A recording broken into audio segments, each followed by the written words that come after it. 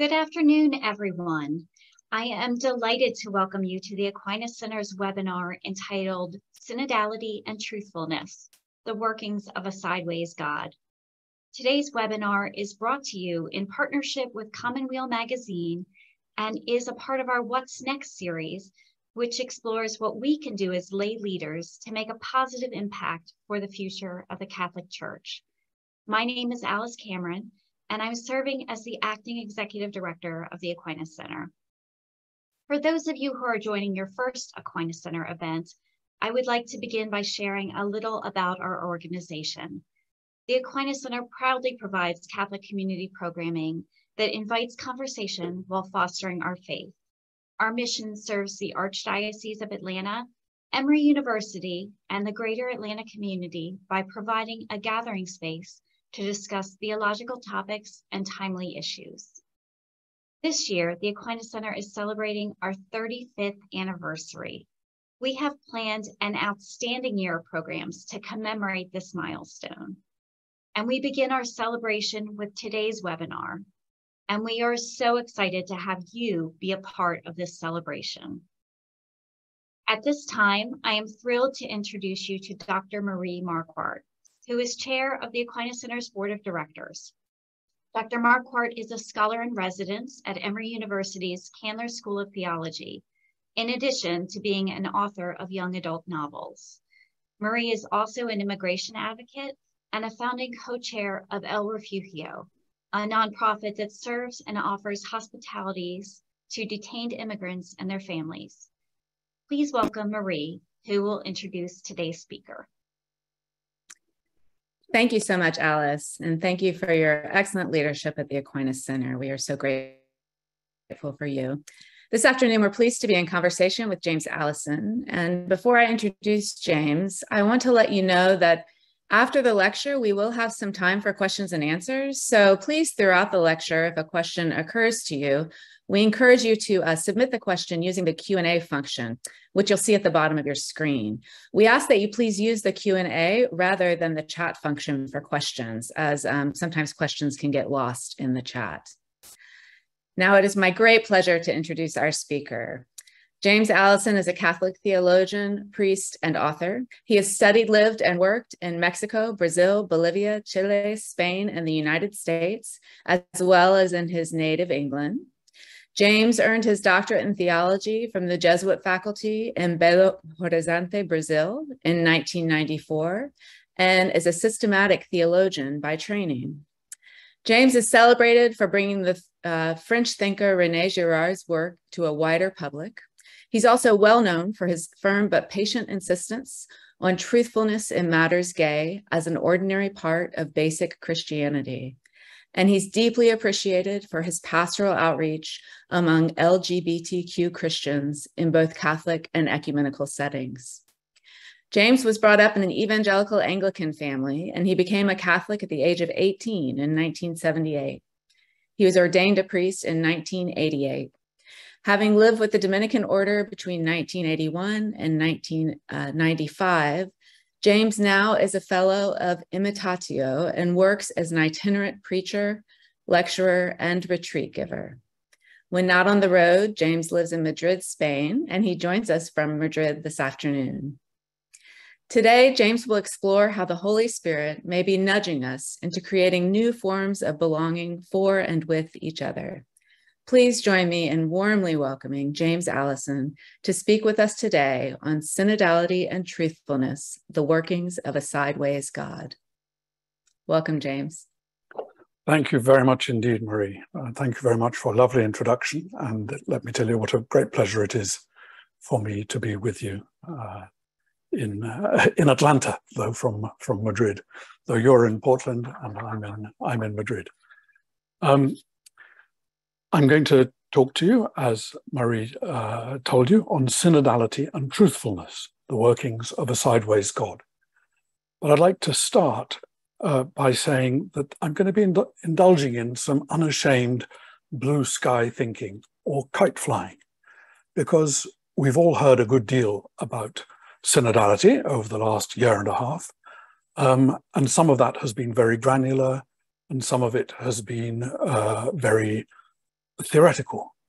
What I'd like to do is to talk a little bit about how we find ourselves becoming involved in the process, not so much talking about particular steps you might take, since I imagine that most of you uh, will already have been involved in one way or another, whether through uh, academic institutions or through parishes or through dioceses with the synodal process.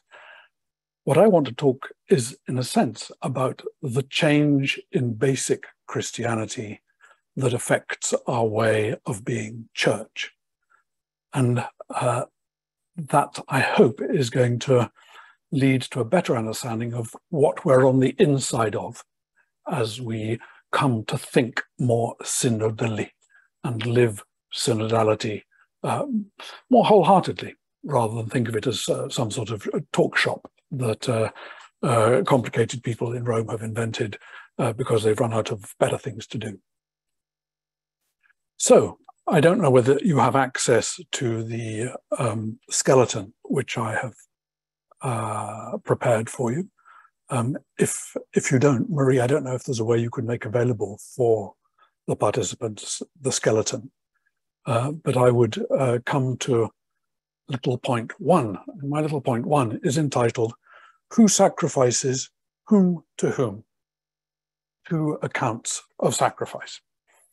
Um, it seems an odd place to start when talking about synodality, but I want to ask you to stick with me as I take you down this route, because I think that one of the big things that happened uh, with Vatican II was that the generation of theologians who produced it had managed to work uh, their way towards a genuine understanding of what real Christianity requires from us.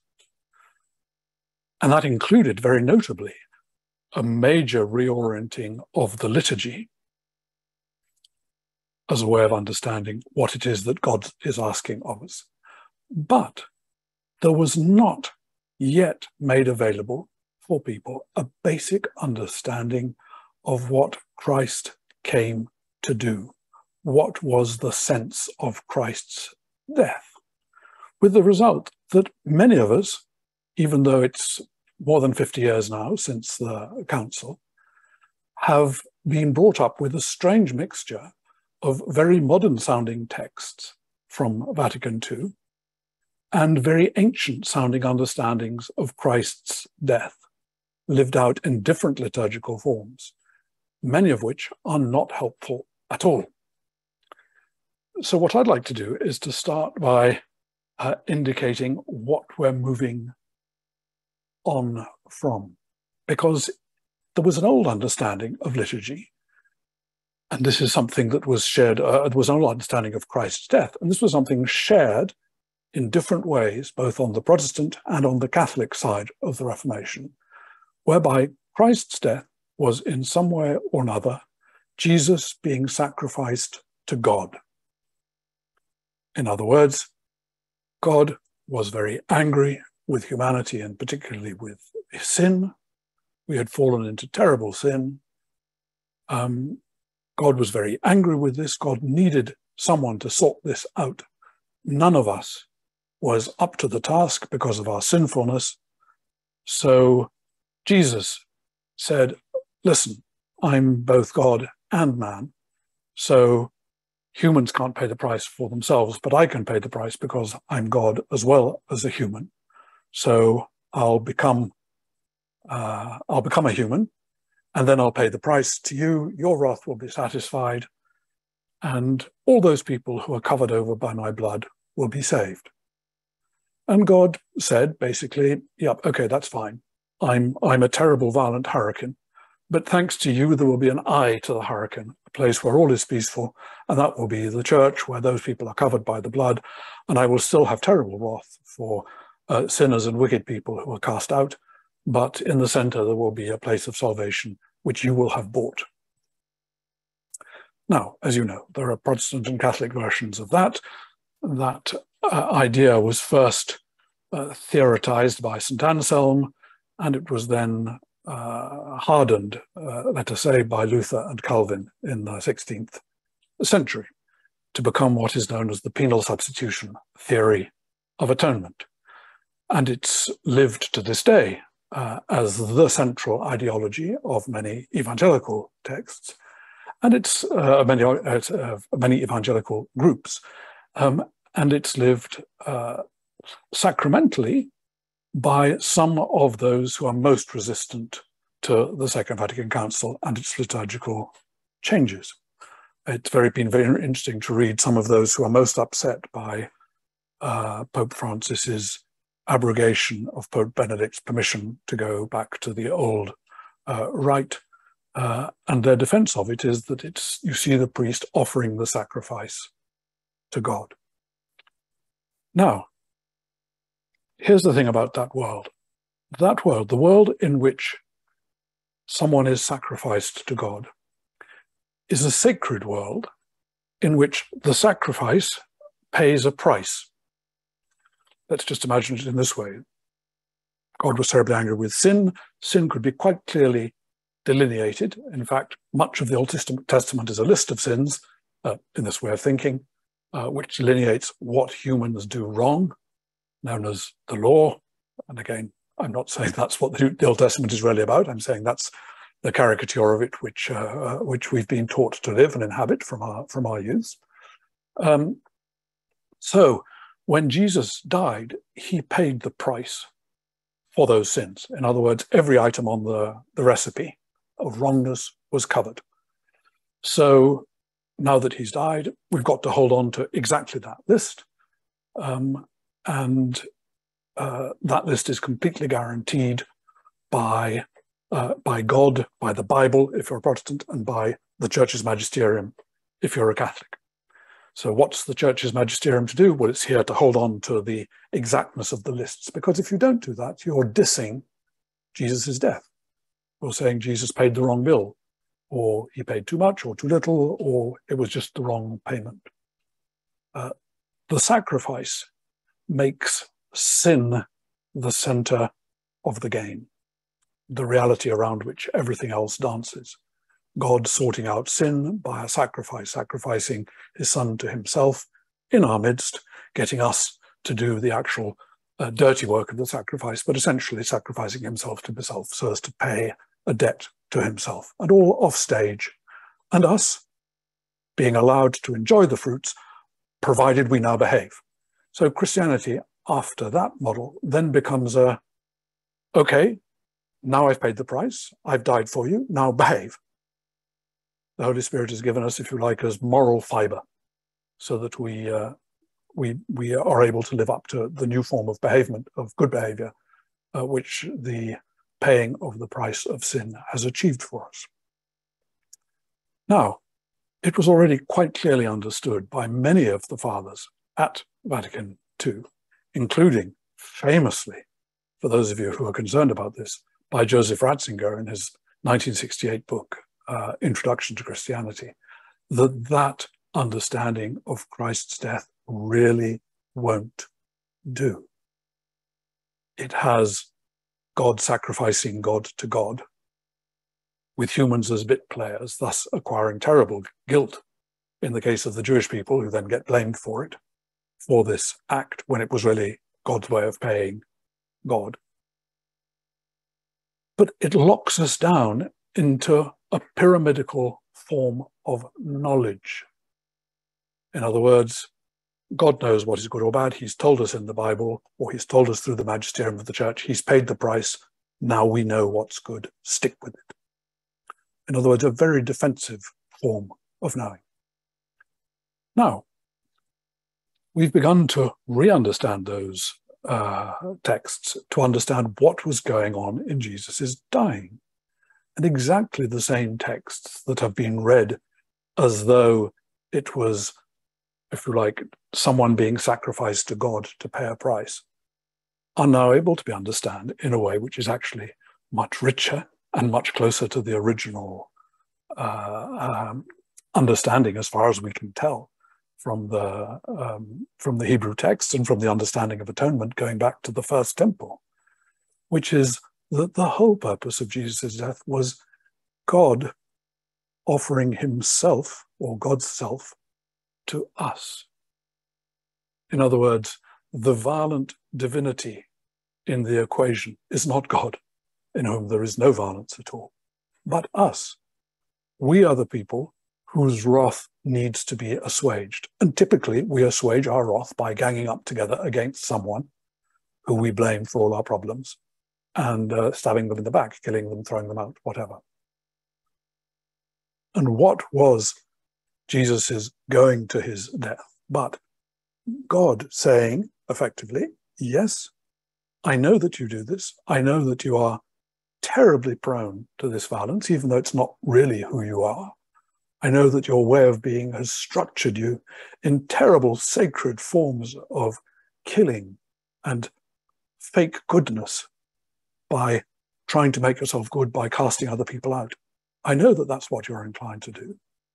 And I'm really, really keen to be able to get you off that game. So I'm going to occupy the central place in your horribly violent drama, which is you're killing people to make yourselves good, to build yourself unity, to, uh, to say it is better that one man die than that the nation should perish, to use Caiaphas's words. I'm going to occupy exactly that place to show you that I love you that however awful you are in doing that, I don't hold it against you. This is what you do. And I'm here showing you, yes, you do this, and the person to whom you do it is basically innocent. Which means you can be forgiven and you can start to learn how to play another game, start to learn how to become a new people, not over against each other, but by receiving yourselves from the forgiveness of your victim. I hope you can see that exactly the same texts can point either in the direction of us trying to satisfy God's wrath or God trying to appease our wrath, trying to get us off wrath. And if you like, the, one of the key features of the New Testament, one of the great surprises of the New Testament, if you like, is the realization of the shock that it was amongst people expecting the coming of God's Messiah, God's anointed one, by the lack of violence therein. That there was not retribution. What Jesus' coming did was revealed human violence and showed us how to get off it. Anyhow, that makes a huge difference to understanding what Catholicity is about, what being a Christian is about. Because in the one case, it's about being made holy by receiving the blood and thereafter living defensively in a kind of a group huddle of the good and protecting ourselves from the wickedness of others who are going to hell in a handcart because of, of wrath. And the other is God coming into our midst and saying, Actually, I really like you. I'm so keen that you should actually be able to become fulfilled, become who you really are start to become a, really alive as humans, in fact, become my daughters and sons. Being able to live as if death were not, no longer run by death and its fear, as the Epistle to the Hebrews says, and learning to be able to create forms of unity together that actually do you good, rather than depending on cruelty and denigration and uh, belittlement of each other. Entirely different pictures of Catholicity. One is a closed down and defensive, and the other is open ended and constantly reaching out to more and more different groups of people over against whom we're inclined to create our goodness. Now, if the second model, which is the one uh, which I'm going to be presenting to you, is the one that is really underpinning the changes of Vatican II, you can see how it's going to make a huge difference to our understanding and living of the, of the sacraments, and a huge difference to our learning what it is to be together, to form togetherness, to construct belonging in and as the church.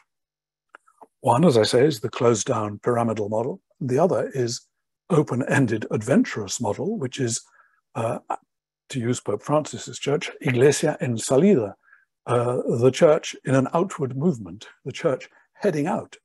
It's constantly uh, trying to undo uh, the different forms of violence and recover true humanity from under its ruins, wherever we find it in the world. Now, we're at little point two here. Given this different account of why Jesus did what he did, in other words, coming to do something for us rather than paying a price for God, it means that his death becomes part of his gift to us, occupying its space so that we no longer need be run by it, but more particularly so that he could give us God's Spirit.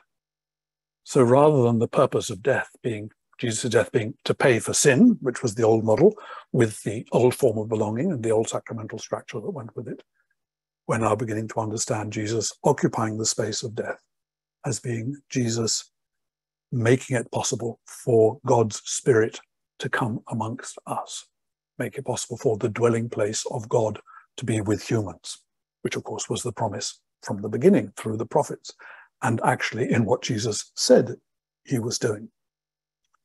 In other words, Jesus was coming into our midst so as to enable creation to be fulfilled by us being given the Spirit and start to actually live the holiness of God starting now. Not with a, separate holiness kept in a temple, but with us becoming the temple, with the holiness of God starting to be uh, lived out now. Now, here's the interesting question. If we're stuck in the old way of understanding Jesus' death, then we fatally think of the Holy Spirit as above all something coming down, because our whole way of thinking is pyramidal. So the Holy Spirit comes down and solves the function, if you like, of giving us the moral strength to be able to do the right thing and stick with the recipe of sins, which we've inherited. And it also has the nice advantage of it, it illuminates the hierarchy so that they're able to teach the church. Uh, that's the, again, the old fashioned uh, way of uh, looking at it. I'm not saying it doesn't do that, but not in the top down way in which it was imagined. In the way that I'm beginning to suggest to you, what we see Jesus is doing is constantly a sideways movement, what I call Jesus's fraternal relocation of God. Let's remember that in the New Testament, the only time the paternal voice of God talks, the only time we ever hear God the Father speaking, is on the couple of occasions when the voice says, This is my son, do what he tells you. This is my son, in him is my pleasure. This is my son, obey him. In other words, what we have is the Father entrusting everything to an horizontal process. Thereafter, everything will be fraternal. All teaching will be at the fraternal level. It will be at the human scale, from a human, among humans. This is brought out in so many different ways in the New Testament, and it's so easy for us to forget it, especially if we're stuck in the old model of sacrifice. Because if we're stuck in the old model of sacrifice, of course, we have God the Father as a center of consciousness outside of all that's going on, looking down, getting very worried about things, being a bit relieved when his son uh, pays the price, and then sending down messages constantly trying defensively to keep us on side. That's what the Holy Spirit is about. Whereas instead, what we have is God in Jesus taking the enormous risk, opening up the adventure of saying, I wonder where creation is going to go. I'm going to put it entirely in human hands. My son is going to be the measuring point, the be all and end all, the logos, the structuring word of the whole of reality. And that means that in as far as humans become like my son, they too are going to enter into the reality of what is. And this is all going to be done at the fraternal or at the sibling level, not as part of a top down exercise. That's my dare. That's how I'm going to treat them. And this sibling effort is going to work through the Holy Spirit. The Holy Spirit is going to be able to be given them when Jesus has finally conquered death. So that the deathless spirit will then be able to become the master narrator, the master builder of a human narrative, such that humans are able to live the truth without fear of death. That's the adventure. And I wonder where they're going to take it. Like the, the adventurous nature of God. Now, please notice that uh, I'm not making this up. You know, the, when Jesus comes amongst the disciples in John's Gospel, uh, at the very end, in the uh, in the scene of the of the, the, great resurrection appearance, he breathes the Spirit into them. Uh, same verb as with uh, breathing into Adam at the uh, uh, at the creation. It's exactly the same verb, and then it says, "Whomsoever you forgive, it will be forgiven. Whoever you don't forgive, it will not be forgiven. It will be retained." In other words, the whole power for taking this adventure forward works through forgiveness, and it's in your hands now. From now on, it's going to be entirely sideways working through you. This is an enormous challenge, an enormous challenge to us. We need to be very brave to accept the charge, if you like, to accept the, the commission to be taking this uh, forward. Because it means there's no longer an outside Deus ex machina God whom we can quickly construct a pyramid to hold on to our goodness in the midst of all our fear. On the contrary, we find ourselves learning to trust that in the midst of all the fear, the Holy Spirit is actually bringing us to life, bringing us to life. And that's actually what the Acts of the Apostles is all about, this wonderful process by which the still fairly hierarchically minded apostolic group learns to become much more down to the humble fraternal level and sees to their amazement the gospel take off.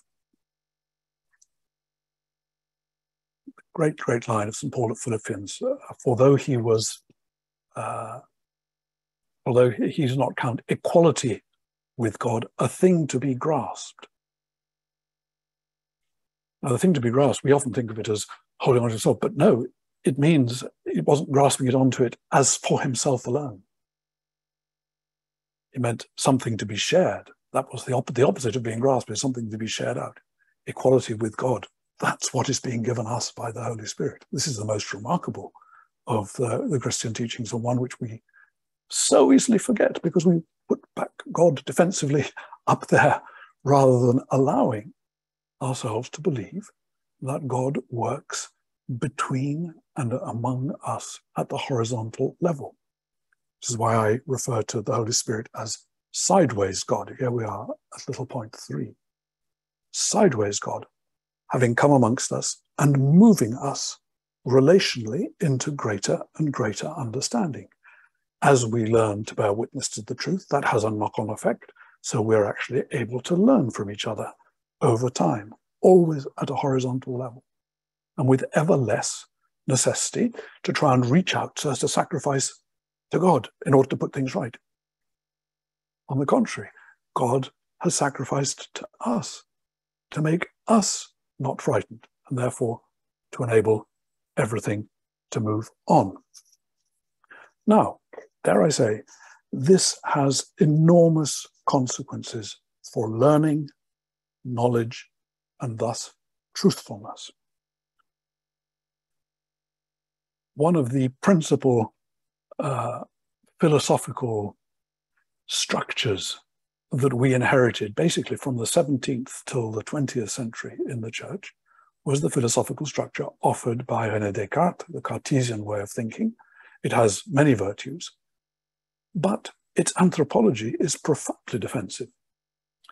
It's so concerned about the fallibility of our bodily knowledge that it seeks some clear and distinct ideas in a spirit that is able to know itself, that is somehow separate from bodiliness.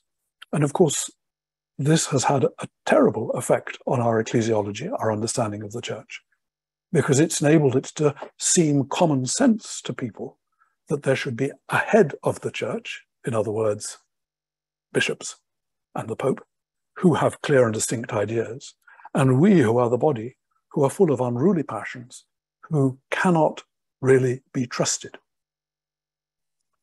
Our passions are so dangerous, are so wayward, that we can't really learn from them. Now, there are two different versions of this. There's the more extreme version, which is taught or was taught in some Protestant forms, which is the radical depravity taught by uh, Calvin and still held to in some circles, whereby literally, because we fell so badly, we cannot know anything from ourselves. We can only learn from the words of the Bible. So sola scriptura becomes the form of learning, held in a Cartesian sense. And therefore, the Bible becomes a form of clear and distinct idea that must be implanted on any reality, which means, of course, readings of the Bible which are entirely fake, because the Bible was never written by such people. It wasn't a, a um, if you like, a primitive attempt at botched American constitutional law. Uh, as Stanley Hauerwas pointed out many years ago, it's an entirely different series of genre of writing. But the Catholic equivalent of, of that Cartesianism has been a head which thinks with clear and distinct ideas, and a body, the rest of the church, which is basically unruly and has passions, and therefore uh, must be obedient and can't learn from experience, but must always uh, adhere to, excuse me, I've got something in my eye, uh, adhere to uh, what church teaches. Now, what has changed at the same time as the process of the Vatican Council trying to take us into this more horizontal church, which now Pope Francis is trying to take us into through synodality, is of course the realization that that model of thinking, the Cartesian model, the clear and distinct ideas above and the unruly passions um, below, is simply not true. It's just not true about how humans learn. And that it's bizarrely much more true to say that humans learn relationally. Relationality is prior to rationality. In other words, it's as our relationships with people change, so we learn what is true. While you're in a conspiratorial huddle with people, you only know what you knew already and prove yourself right by. So if you know already that the American election was stolen, you, you join a conspiratorial huddle of people uh, who agree with that. And literally everything you know is determined by that. You can't learn more outside that. Your relationship forms and maintains your rationality. And of course, ultimately, those rela bad relationality leads to bad knowledge, which can lead to group suicide. It can lead to absolute collapse of societies and ways of being together. But changes of relationality also lead to changes of ideas. As you find your tendency to defensiveness uh, needing to be altogether over against someone undone by the presence of people who you would formerly have regarded as they, like Gentiles, or in the case of Catholic clergy, women, or in the case of all of us, LGBT people, and especially now trans people. So rather than finding uh, that our world is blown apart, we actually just find ourselves learning what is truer about ourselves than we did before. Relationality is prior to rationality. Witness is what leads to truthfulness. Witness produces a change of relationality, which leads to an ability to know more and to tell the truth. This is an horizontal process. And the way you stop it is by saying, whoa, whoa, whoa, I'm learning too much. Stop the world. I want to get off. I need to go back to a form in which someone was right who was outstanding outside this, this scrum uh, and who says what's right. And then I can hold on to my reality because no, that's actually not offered by Christianity. That's what offered by pagan religions. Pagan religions, going back to antiquity, uh, are group holding mechanisms, what we would call now called identitarian, group holding mechanisms that enable people to stick together over against others and not to learn outside their group. Christianity, and especially Catholicism, the word katholos, according to the whole, just means that. it's the wholeness of human learning to which we are officially not only officially, but uh, constantly and spiritually moved. That's part of what being a Catholic is all about. Little point five. Now, this involves a shift from a prioristic learning to historical, experiential, and dynamic understanding. When I say a prioristical learning, uh, what do I mean? I mean, you know something general in advance about something, and therefore you deduce how to act. So you start off with, for instance, if you're a, a parent uh, of a small of a small child or or someone who's meeting a very small child, you don't yet know much about what their personality is going to be. They've given some hints. But as a general principle, you hear from other people who have experts in childcare what to expect in the first weeks with a baby, what to expect uh, when it comes to teething, what to expect when it comes to walking, what to expect when it comes to talking, uh, how your four-year-old is likely to behave. And you follow from gen general principles, which you hear from others, and you apply them to your child, learning to adjust them as you begin to discover who your child really is. But that only works while knowledge is somewhat distant and until the child can actually begin to express themselves. Once they start to express themselves, you begin to discover things that maybe are just things typical of an adolescent, but maybe are who they really are coming into being. In other words, you discover the limits of general knowledge from which you make general deductions, and you start to acquire particular knowledge, which means that you can actually begin to relate to that person as they are and learn things about them and learn things about yourself as you deal with them. Now, our church has worked for a very long time on the basis that there is a prioristic knowledge and that we should just make deductions. At the Second Vatican Council, this was made quite clearly uh, not to be the case any longer.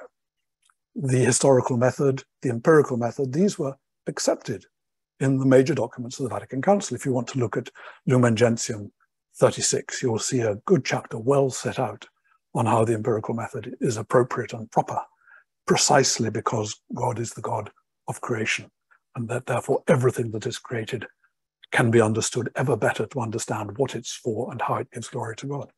But of course, many elements in our church since the Second Vatican Council have resisted Vatican's teaching on that method, especially when it's been anything to do with family, gender, sexual orientation, and so on. Those they have held to strictly a prioristic accounts, meaning you can't learn from here because experiential knowledge is too likely to be a passionate sinning. Uh, it's too likely simply to be wrong. But in fact, what the church has been teaching us since the Second Vatican Council, and I long for the Congregation for the Doctrine of the Faith to accept uh, Lumen Gentium and start to allow its teaching to be affected by it, is uh, the historical dimension to all learning, the experiential dimension to all learning, since all our learning is actually experiential because it's always relational. It's always others who have brought us into being through families, schools, public discourses, the language we share, which means that our experience of the reality is what leads us to be able to tell the truth, not we have dangerous experiences, but we all have little um, supreme pontiffs in our head that can tell us what is true or not. Uh, no. Our, our intellect is a wonderful thing and enables us to filter through our experiences and gradually come to the truth. In the case of humans, slowly, with a mixture of errors and so forth. That's how we are. But it's part of the process of learning. So historical, experiential, and dynamic understanding of learning, which includes learning truthfulness. One of the examples which I like to give uh, is, in a sense, it's very obvious, is the, um, the way in which precisely the undoing of the scapegoating mechanism regarding gay and lesbian people is what's led us to be able to understand something true. Whereas before, and still in some societies, Again, lesbian people are obvious scapegoats. They are obviously the people who throw out when you want to keep your group holy and good. But since the end of the Second World War, actually the end of the First World War was a very important moment as well, the end of the Second World War, and the, the possibility of a sufficient mass of people to be able to be identified as who they are, it became possible to realize that there is no pathology intrinsic to these people. It's not that they're a problem, it's that their treatment has been a problem. And if there is no pathology intrinsic to these people, then their flourishing must be from them, not in spite of them. By undoing the scapegoat mechanism, you learn something true about what it is to be human. And what is true has a knock on effect, such that we learn more and more true things about all of us. Who we are changes. And at this particular moment, the violence is much more strongly concentrated on trans people, and the learning process is the same. In the degree to which we overcome the scapegoating mechanism, so we enter into truth. That's how the Holy Spirit brings the gospel to life in our midst. So, given that, what I'd like to suggest is that synodality, rather than the pyramidical movement of sacrifice guaranteed, close down the world so that we can be good, synodality is an attempt to live out the sideways, I would describe it as helicoidal movement, the movement like a helix. If you imagine a, a sideways helix of movement going round together at the same time, by which we come together in new ways, we learn to tell the truth together in new ways. We are able to learn to appreciate what is true and what is false in new ways. And that means that the place of signed teaching, uh, those who are given the sacrament of orders and oversight, so priests, bishops, uh, regardless of gender in the future, are going to have a place within that helicoidal dynamic as part also of the learning process and the sifting through process. So as to be able to learn how to teach and share what is true rather than their current model which is people who can't learn anything but just have to hold on to the recipe because that's what guarantees the stability of everything. So it's this helicoidal sideways movement with a new understanding of what's going to be the process of discernment by those who hold the sacrament, the sacramental, the signed job of teaching.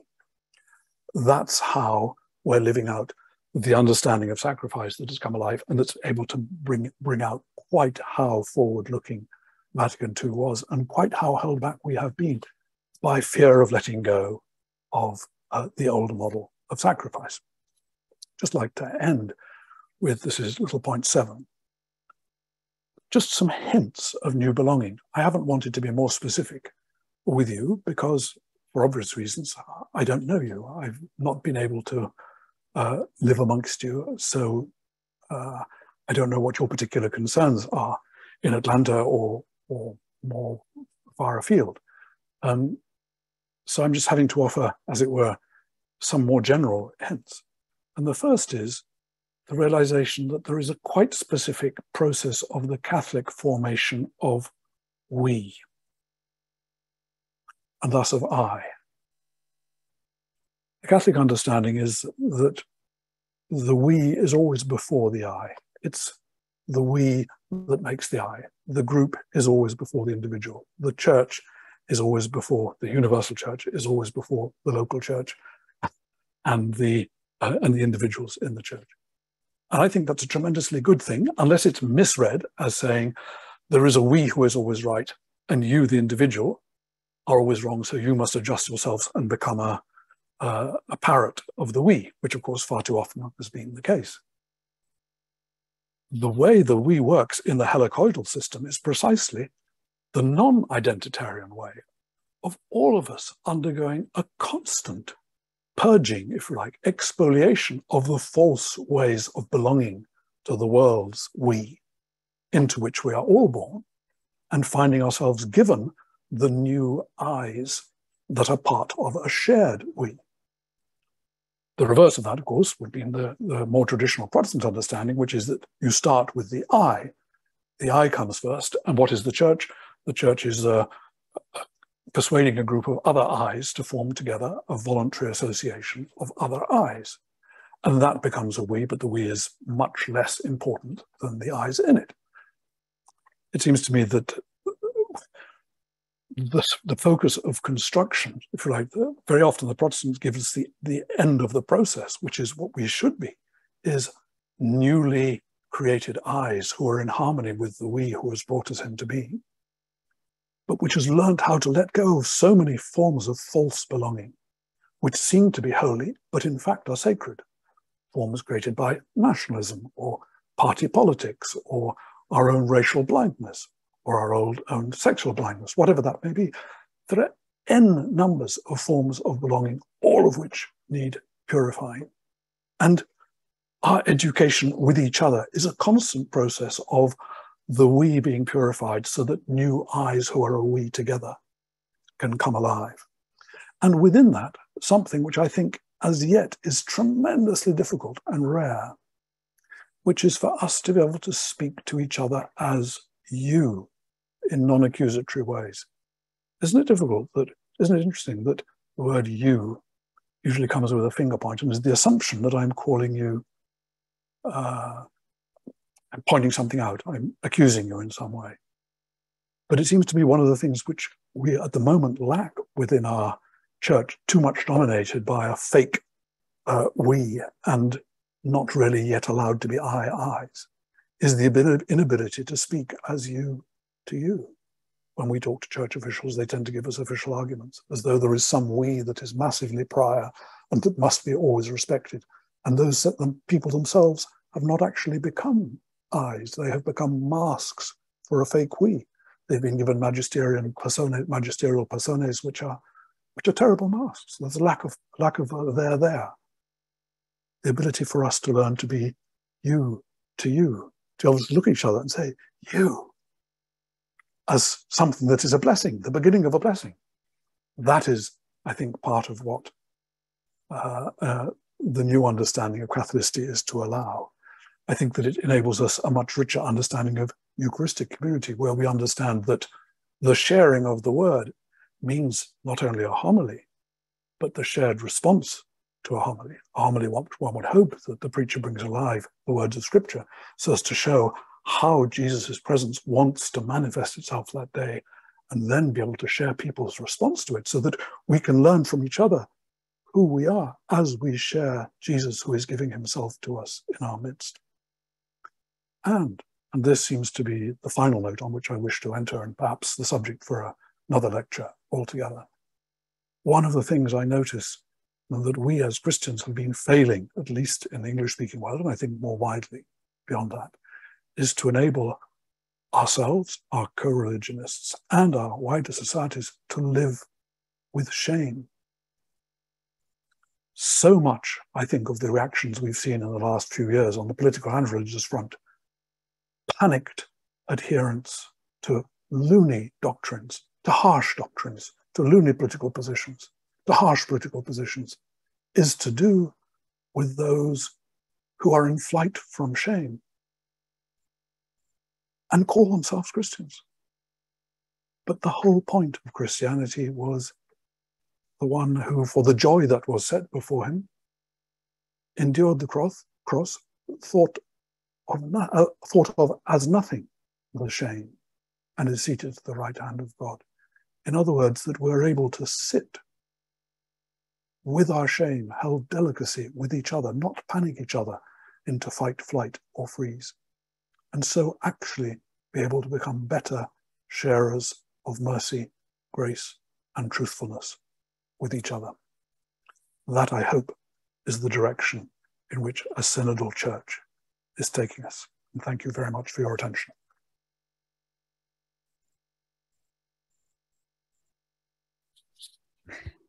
Thank you so much, James Alison. Um, you've given us um, just so many rich and profound um, uh, ways to enter into this envisioning, this visioning together um, of a new path forward. I, I love that you began with uh, this image of the sending up of kites. Um, and I certainly, um, I know that many of us, as we listen to you, just have seen these kites in the air and are and are um, working to to process and think through and and and relationally uh, vision um, how how this will lead us forward. Um, we do have a few questions, very specific questions in the chat that I want to make sure that we um, are able to to ask. Um, the first of the questions comes from um, Luis Gutierrez, and Luis said he has met you in Philadelphia and is glad to be back with you. Luis asks, can we expect the synodal process to enable the church to transcend patriarchal theologies about issues of human sexuality, such as the gender binary and the ordination of women? And I know you began to speak on this a bit, but I wonder if you could expand a bit. Yes, uh, uh, I'm a, a long-time follower of Luis's and uh, receive his updates almost every day. Um, and I uh, I do agree. I think that if one of the things, the most obvious things that is absolutely global in the responses to the uh, to the synodal process is uh, really complete impatience, quite right patience with, un unless women are, are, speaking at the same level as uh, as men, you really can forget it. Um, it's simply not possible to be Christian and not have that kind of shared uh, uh, participation. Um, I think that that's I think that's absolutely right. Now, how that is going to be done, how an anthropological shift uh, like that is made to happen, given different parts of the world on different speed uh, bands in different ways. Um, well, that's the work of the Holy Spirit. But I think that the evidence that that is a sine qua non of the synodal process is is very very strong Yeah, absolutely. Uh, thank you. Um, uh, another um, uh, question has come in. Um, and the question is that Jesus also speaks about wailing and gnashing of teeth and the punishment that comes to the unfaithful. Um, and this questioner asks How can these scriptural texts be interpreted from the perspective of the sideways God that you're discussing? Oh, um, well, of course, we'd have to look at each at each text in in turn, but I would say that that is absolutely um, part of the uh, how the sideways God works. I mean, one of the things that Jesus is doing in his parables, parables typically is shifting people's expectations as to where uh, the violence is. um, uh, and it's a constant exercise in a very deliberate sort of irony, asking people to occupy, occupy the place uh, that they put other people into so they could understand what's really, uh, what's really going on. I don't think that Jesus is, uh, um, I don't think that Jesus is trying to set up a, you know, a, what's the word, a, ah, a three-dimensional picture of what is above, what is in the middle, and what is below, as though these are fixed places that people have, are going to be are going to be sent to. That's the easy way to doing it. On the contrary, I think he's very much saying, uh, this is what your living of your life now actually looks like. Where are you going to be in it? you know, that's the uh, the ultimate the ultimate response at the uh, in the great Matthew 25 scene with the sheep and the goats is not I'm going to send you to somewhere, but effectively you have already sent yourself somewhere. That's the question. Where are you sending yourselves? Mm-hmm. Yes, yeah. So, go, go, ahead, please continue. No, sorry, so, but that's it. But obviously, we'd have to uh, look through the uh, the parables. I try for for anyone who doesn't know, I'll give a little boost. I try to give a commentary on the gospel of every Sunday on my site called Praying Eucharistically. So I've had great fun actually reading many of the uh, uh, the Gospels which deal with these uh, with these issues. Uh, yes, would highly recommend spending time there for those of y'all who uh, haven't had a uh-huh. chance. Yeah. Um, you know, and I think that really does tie back to the way that you ended this question of um, us holding one another and and um, supporting one another in our shame um, and this kind of that we are called to to enter into that and and um, and hold and create space for um, and honor and support and be compassionate toward one another um, and that I think some of those texts are pointing toward that that need for us to gather and hold one another. Um, uh, you've had a, a, there are a few questions that um, I think tie to um, something that I was thinking about as I was um, listening to you speak, um, about the the real bravery that's required to uh, to accept or take on the commission um, that we are given if um, if we enter into um, living into this relational sideways understanding of how the Holy Spirit works among us. Um, and um, and also of of how we produce knowledge um, and the kind of relational understanding of how we uh, move forward and, and begin to understand truths. Um, and that that takes a real courage. That takes um, bravery. Um, uh, and several folks i think are kind of wondering um, about how how we undertake that. And you know one of the questions we received is is really a question about sort of institutionally where we might find space for that. Um, someone asked in the uh, catechumenal process rcia seems to be like the process um, toward being a we. So kind of maybe one of the the locations, the institutional locations where we might begin to do that. Could you comment on that and and other place, you know, institutional locations that we might begin to build together this courageous action? Yes. Well, here's the thing: that the courageous action is the production of witnesses. Mm-hmm. Everyone who's confirmed, the assumption of confirmation is confirmation is uh, the time the time when you start being ready to witness. And that doesn't mean going and standing on a street street corner and announcing the end of the world is nigh, uh, but it means agreeing that your life is going to be a certain counterfactual uh, witness to something that is not visible but is coming, mm-hmm. um, the, the, the, kingdom, uh, and that it's as you're prepared to do that that you find yourself uh, able to be accepted as someone truthful over time. Mm-hmm. And that's a lifelong, a lifelong thing. So yes, I think the RCIA is is a way of of doing that, but but but the Boy Scouts may also be a way of doing that, and joining a trade union movement may also be a way of doing that. Uh, I mean, there are any number of uh, formation processes by which we can become witnesses. Uh, the institutional church, remember, is not an end in itself. It's it's the platform to enable us to be reaching out towards what is not church. uh, the church is for the world, not the world for the church. The, uh, it's, it's, a hugely important um, uh, understanding of, I, I, think, again, Vatican Vatican II's understanding and Pope Francis' understanding. So yes, the RCIA may be a launch pad. Um, there, there are other launch pads. I hope for instance, that some of the LGBT groups in which uh, I help to uh, keep going and accompany people as they learn to stand up and be who they are in the midst sometimes of a frightening world and sometimes of a frightening church, and sometimes a mixture of the two. I hope that those are launch pads for people who will find themselves bearing witness over time in strange ways, because Christianity without witness is, uh, is, is, is, not a thing. the, the, the, witness is a sign that there is an other other. Yeah. That God is an other other, not simply the same old human, political, religious uh, other that just drives all of us into the ground. The sign that there is another other is produced by witnesses.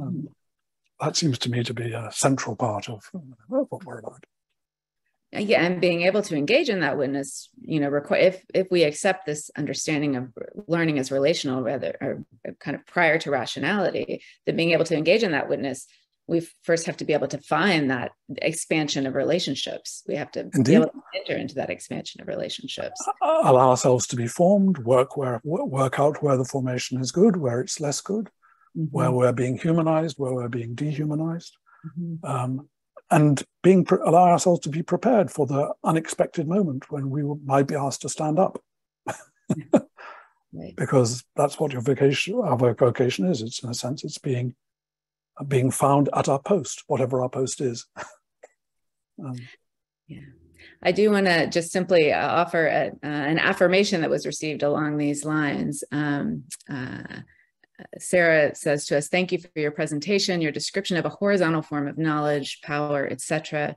gives me hope and inspiration as I learn more about what it means to be a minister in the world today. And I think that's, um, uh, again, just this idea of witness and ministry and the relationship between those. For those who are in formation. Um, right. Yeah. Um, so another question that uh, we have is um, a question about uh, reconciling uh, understanding of the historical experiential with Catholic teaching on divine revelation. Um, uh, and and I think this comes back to this kind of really what you set up in the very beginning of the talk. But uh, maybe just if you want to speak a little bit more about this, um, a, a, question of God's revelation not being historical or a experiential. Um, uh, this questioner asks uh, are, says that the Catholic Church understands divine revelation as privileged, completed, authoritatively handed on through Scripture and tradition, um, and binding and guiding. Um, and um, I think this kind of comes back to how you how you began uh, the, the, discussion. Uh, but maybe if you could just expand a little bit about your understanding of how Vatican II may have. Uh, yes, yes. Uh, the interesting thing is that, that of course, the, the fullness of revelation uh, had happened by the time of and is contained in the Apostolic Witness, uh, mm-hmm. understood traditionally to end with the Apocalypse of John. Um, and that this is uh, given to us with the Hebrew scriptures.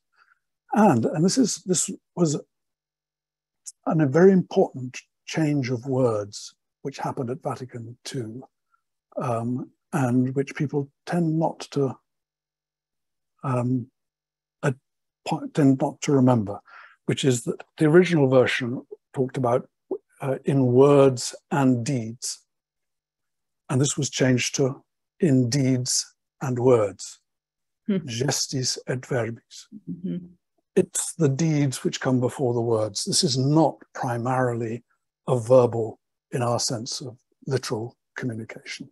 Mm-hmm. It's God's deeds. It's the happening which leads to the talking.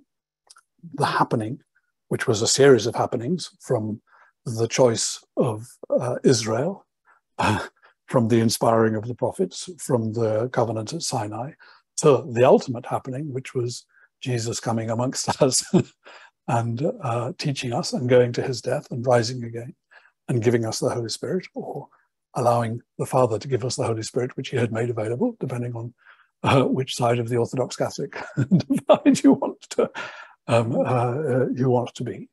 That all of that is completely definitive.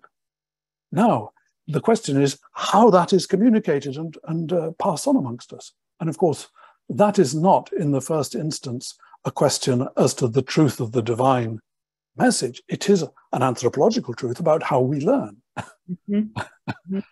and it's that that people need to rethink. I'm not suggesting anything untraditional in terms of the content of the uh, of divine revelation. On the contrary, I think I'm a very I, am a very conservative Catholic theologian. Um, but uh, I am suggesting that the anthropology of learning has changed enormously. Mm-hmm. And that the anthropology of learning, which is, of course, not part of, uh, of divine revelation per se, is something which we're constantly on catch up with so as to try to be able to understand divine revelation better. Mm-hmm. Um, right. um, uh, that seems to me to be the important uh, uh, point there. So, yes, which is why I, I mentioned the notion that in this uh, helicoidal sideways movement. This is not a saying, okay, uh, the people are always right, bishops are always wrong. It's a saying, no, the relationship between uh, non-baptized, sorry, between baptized and ordained is going to shift very, uh, very significantly, as it is, given that there is a mutual process of learning and sifting through what is true going on rather than the claim that some people, by virtue of ordination, know everything, which other people don't. And therefore, the job of the people is to obey or receive it, as though learning Denzinger in Latin uh, was the answer to everything. Mm-hmm. It isn't. It's very, very useful, but it's not the answer to everything. and, you know, it struck me as I was hearing you describe this shift. Um, obviously how many decades have passed since we we were you know offered the opportunity to reconceive and particularly that um, struck by that image of the head and the body and kind of the you know the, the in the in the Catholic tradition the the um, oh, and, the, the Cartesian underpinnings of that right. understanding.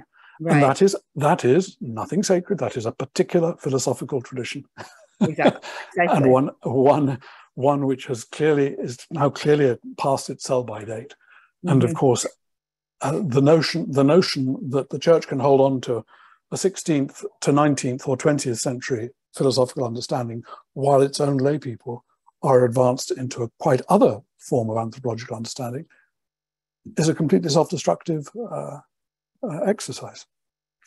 Uh, yeah, and this brings me to a, another question that's actually specific to what we're discussing now. Um, um, um, Matthew asks, um, why is Descartes singled out as the origins of the a priori approach to Catholic um, theology, um, suggesting that uh, St. Ignatius of Antioch identifies bishops with Christ and requires harmony with them? St. Thomas Aquinas follows Aristotle in saying theology is deduction from um, uh, a priori givens.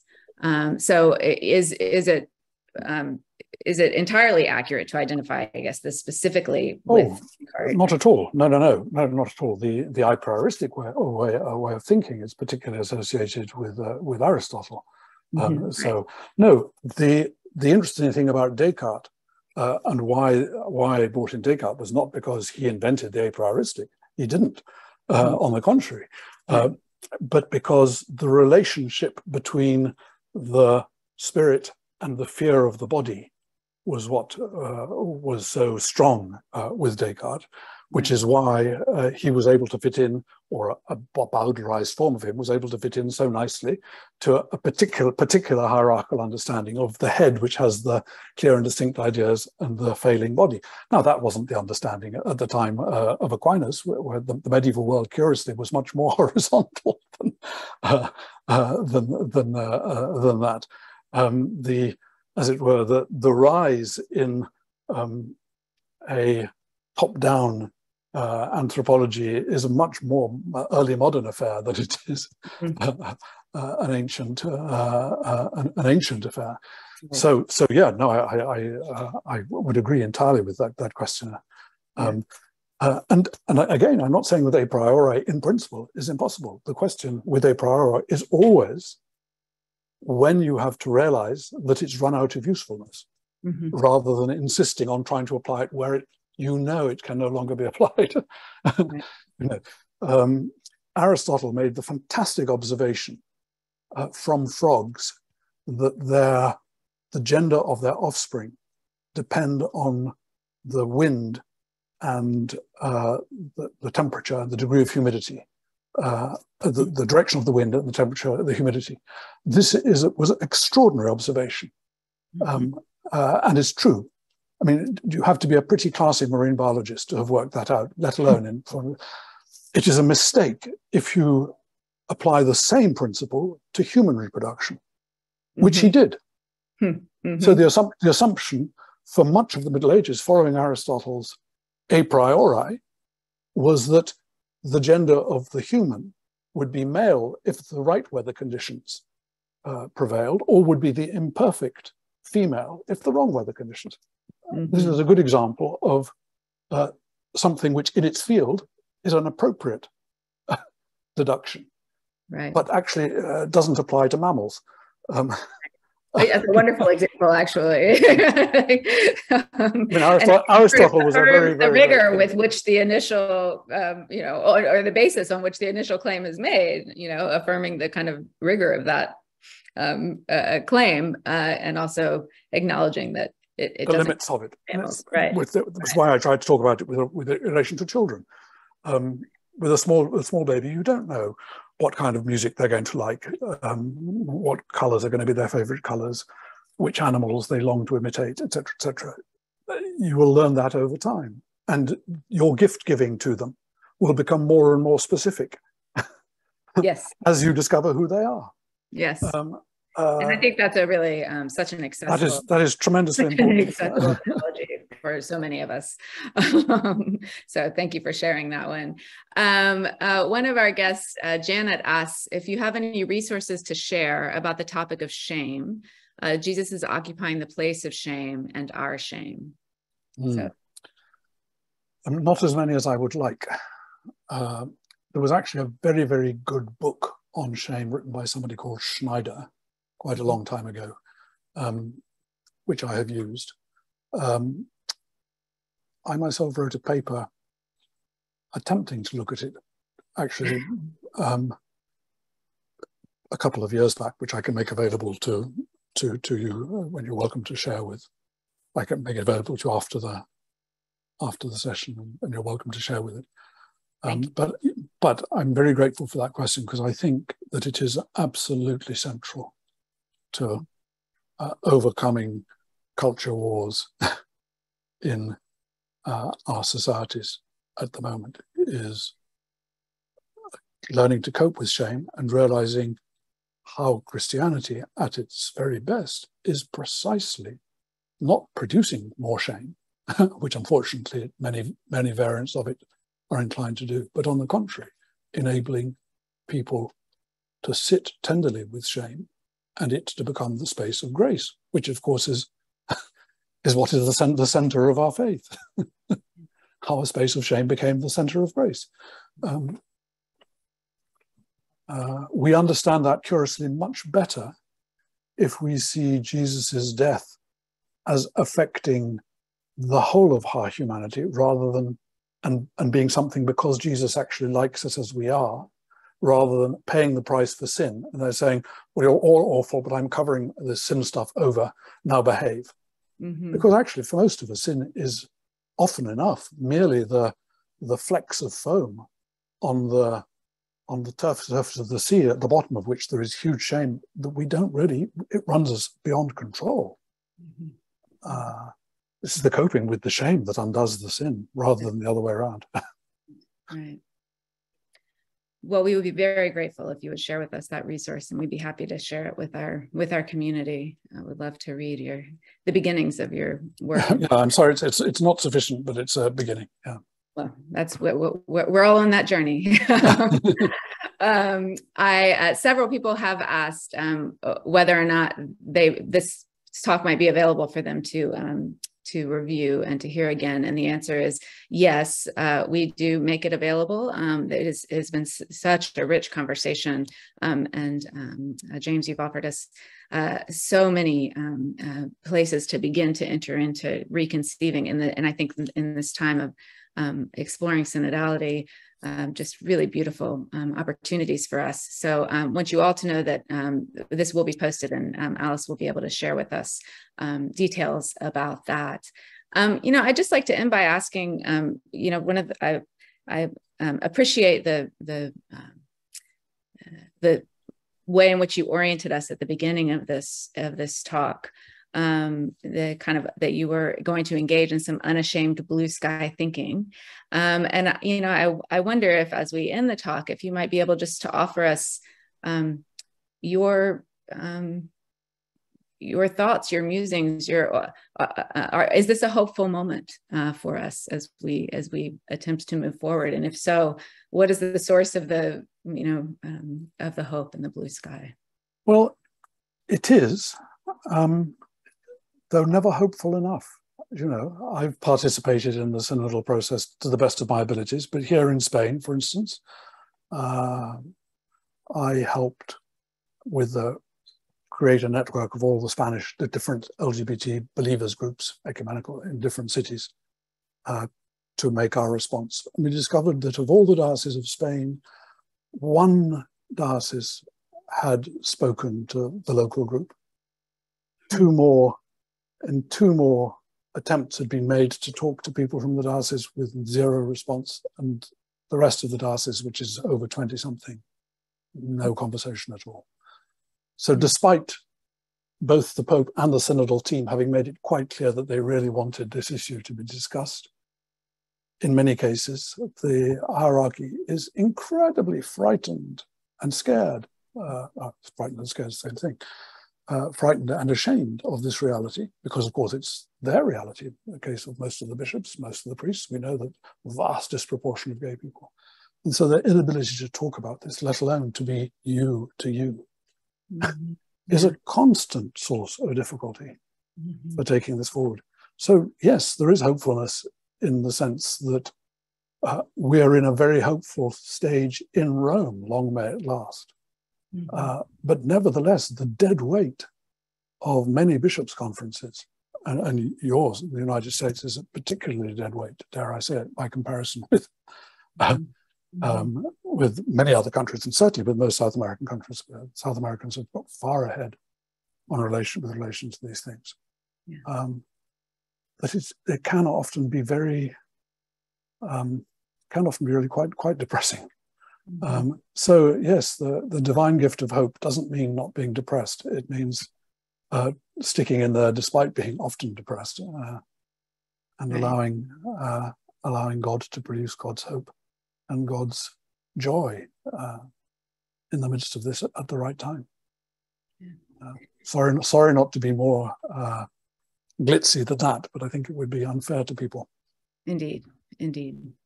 And um, I, I, again, just this calling of us to uh, grow more expansive in our relationships, that that kind of um, that expansiveness uh, will allow for new forms of learning and the op- openness to to truth um, is a something that I will certainly carry with me um, as as and I, I also think that in community we we have the opportunity to um, move through our sorrow and our depression uh, together in ways that yeah. can um, can be really um, we can see the fruits of the spirit in that work. So, well, thank you so much. Um, I'm going to um, just uh, again offer our gratitude to you for for being with us and for offering us um, um, s- such an important um, source of, of, of, of refiguring uh, our thinking around and our our act actions more importantly. Um, and i want to pass now back to alice um, who will um, give us a, a, little bit of closing remarks. Thank you marie. Um, I have added a brief survey in the chat, and we would appreciate it if you would take a moment to quickly fill it out for us. We want to ensure that we continue offering quality lecture events that meet the questions and needs of our community, just as James' lecture has done today. We are so glad that you joined us for this What's Next series lecture event, and we hope to see you at our future events. This is a special year for the Aquinas Center as we celebrate our 35th anniversary. We have so many exciting things planned for this year ahead.